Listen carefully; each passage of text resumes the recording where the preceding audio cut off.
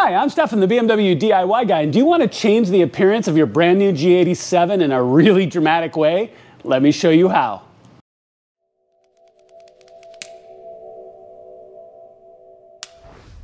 All right, y'all, let's talk about the reasons why you might want to do this project. Now, the G87 has a huge number of design changes over the F87, and one of the biggest ways that it's different are, is the kidney grills and whole front column down through the radiators on the front of the car. Now, unless you have the sapphire black where you're going to be black on black, you're not really going to notice as much. But any of the other colors, like my Toronto red, that lower part of the front air dam across the front is actually black. It's not color matched. Now, I got an opportunity to, to see a car with the painted IND front grille on, uh, and I was like, yeah, I really want to do that. Now, here's what we're talking about. So this is an OEM grill from IND. You order it from them, and when you order, you select exact the exact paint that you want. Now, keep in mind they also have two different versions. This is V1, where the paint stripe only goes just kind of straight across the front. They also have a V2 that goes all the way back. So leaves actually the verticals still black, but, but actually it's painted all the way back to the back edge. I prefer this look in looking at the pictures and then the one car I saw, I really thought this was great. Now, this install is not hard at all. It's only just a few little of those little plastic expanding rivets across the bottom, and we'll slide this piece out and you can put the new one in. This is a great way to individualize your car and if you want to change the style and that visual appearance a little bit, this is a great way to do it. Now, one quick thing, always remember all the parts and tools you'll need will be listed in the video description below. Make sure to check that out. I get that question all the time. Where do I get the parts? Check there. All right, let's jump into the front of the car and let's get this done. All right, so up tight and close here so you can see exactly what I'm talking about. So this expands here across the front we put the new one on, it's gonna be red all the way across.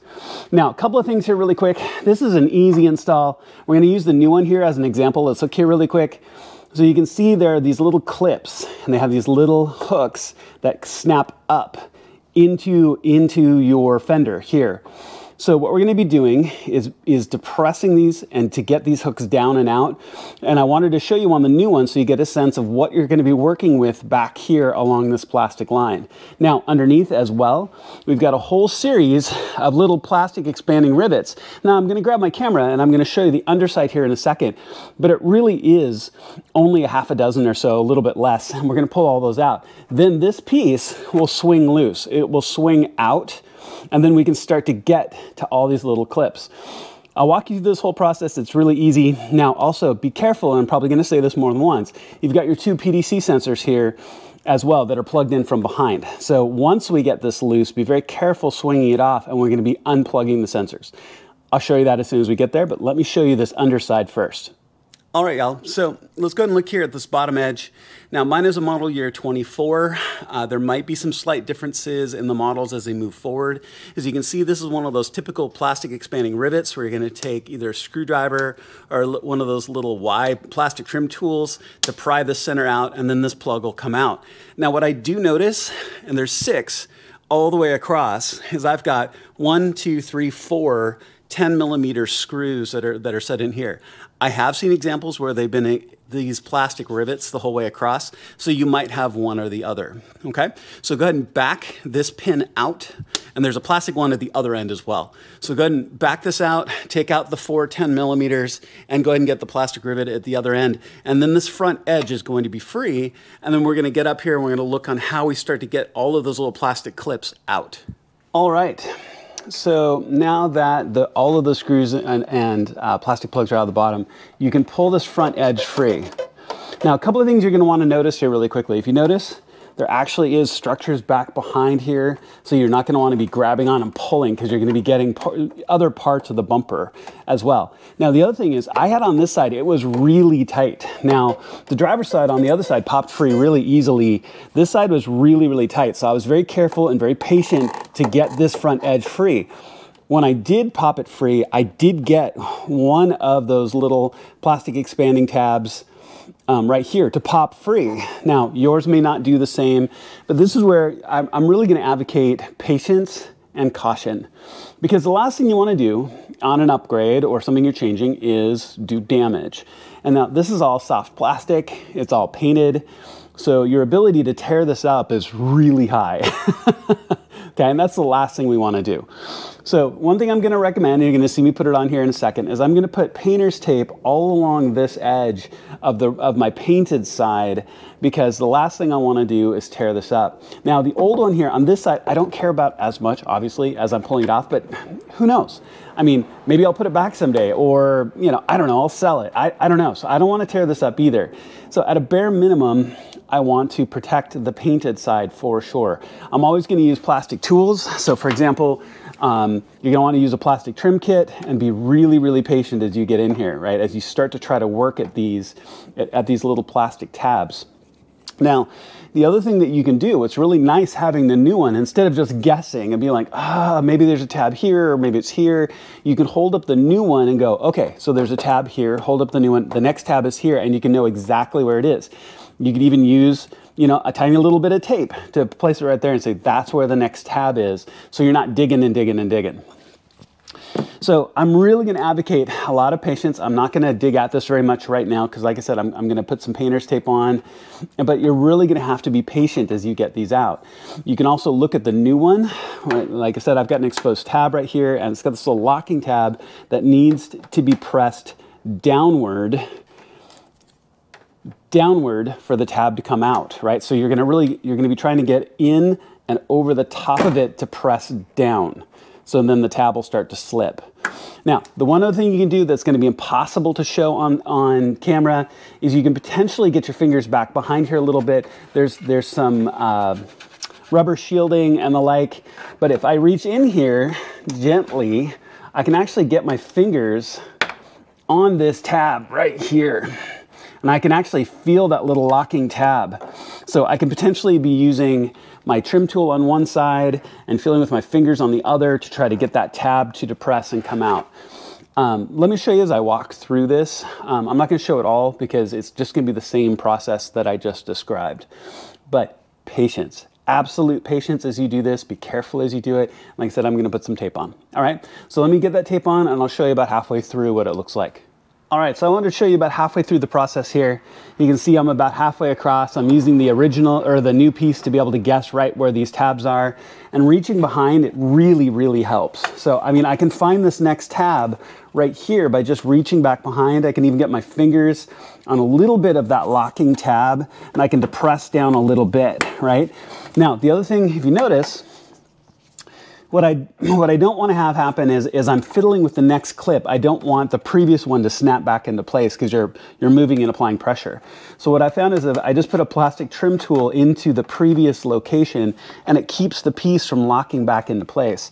The other tool that I found very, very useful is this very, very narrow plastic trim tool because I'll, I'll reach back behind, I'll find the little locking tab. So that's right where my opening is. And then I will just very carefully slide this in just like that. And you should have heard that pop. As you can see, it popped it out really, really nicely. So this next one is out here as I, as I do this. So then I'll take my trim tool, I'll slide it down, slide it in there to make sure that it doesn't slide back in. Okay, and I really only have like one, two, three left to do as I work my way across. And then putting the new one on is just gonna be the reverse order. I'll show that to you, but it's really simple, okay? So go ahead and work through the rest. I'm gonna pop the rest of the clips, and then I'm gonna show you taking your PDC sensors, which are off camera, sort of. Sorry, this one still is, um, but I'll show you how to take your PDC, PDC sensors off. All right, so a really hard camera angle. but your PDC sensor, you really have, there's two different ways to take this off. There's the plug itself, which I'm, I'm going to, uh, I'll show you on the plug on the other side, or I'll show you when I take this off. So there's really two different ways to unplug your PDC, PDC sensors. So the first way is the plug itself. There's a little gray pin that you're going to want to pull up, and then you can pull the plug off the sensor itself. Now the other option, and I, have I've worked with these sensors a bunch, so I'm familiar on how they clip in here. There are these little Y little brackets. So the sensor itself snaps into a bracket that holds onto two little clips. So if you reach down and you feel on the sensor itself that there are two little Y arms on it, and you can feel it so start as, as you gently, and I stress gently press on it, as you can see it's starting to drop out. I just very gently with a finger on either side opened up those Ys and it comes right off. Okay, so you can see that there are these little fingers right here and right here on either side. And there's the gray plug. So if you wanted to take it out plug style, you'd reach back behind, you'd lift up this little plug, or this little lock, excuse me, and then the plug will come right off. But as you can tell, that is a really stiff plug. So I actually find it a little bit easier to actually deal with the little Y arms in the bracket. And I'll rearrange my camera so I can show you here in a second. But this just snaps into these little Y arms on either side, and I find it easier. And again, I really want to stress you have to be gentle. Okay, so let me turn my camera here a little bit. Let's see if we can get a, a better angle here and a better view.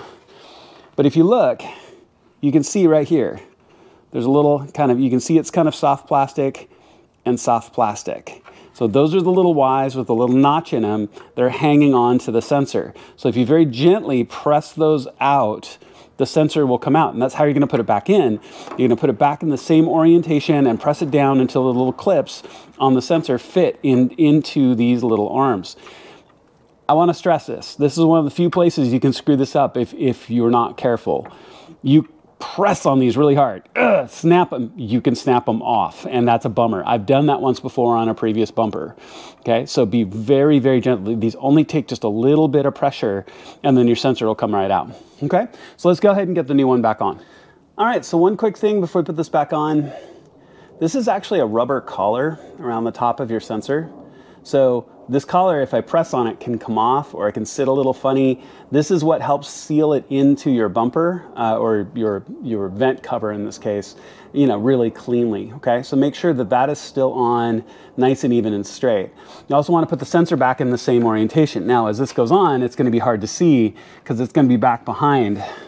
But you're just gonna wanna take it and guide it right back into place and make sure just like that. And hopefully, hopefully you guys heard that little click.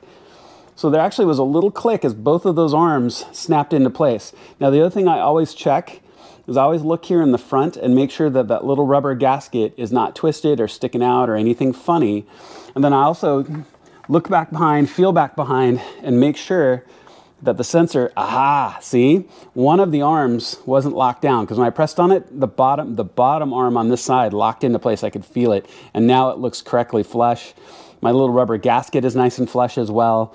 And then I very gently kind of pull, I, I either press or pull up on, on those little arms a little bit just to make sure that the sensor is in nice and firmly, okay? Now my camera angle is really tight because I wanted to show you that sensor.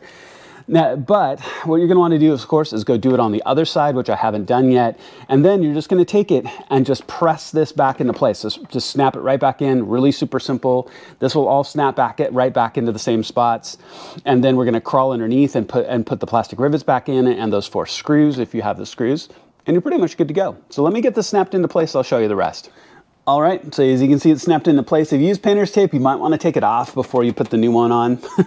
I got a little bit of tape left behind that gave me a little bit of a challenge to get it out of there without scraping my paint. It came out okay, but it, that's fine. So when you, when you do snap this back into place, just make sure to snap this lower lip, lip back into place. This rubber gasket, kind of grommet here that helps focus air up into, up into your coolers. Make sure that that's all in place and nothing is out of place.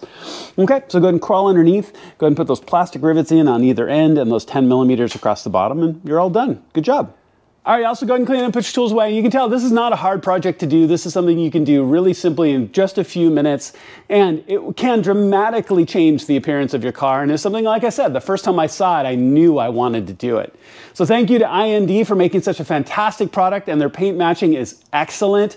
Thank you to Kies Motorsports as being one of the best places to buy IND products through. That's where I always go first.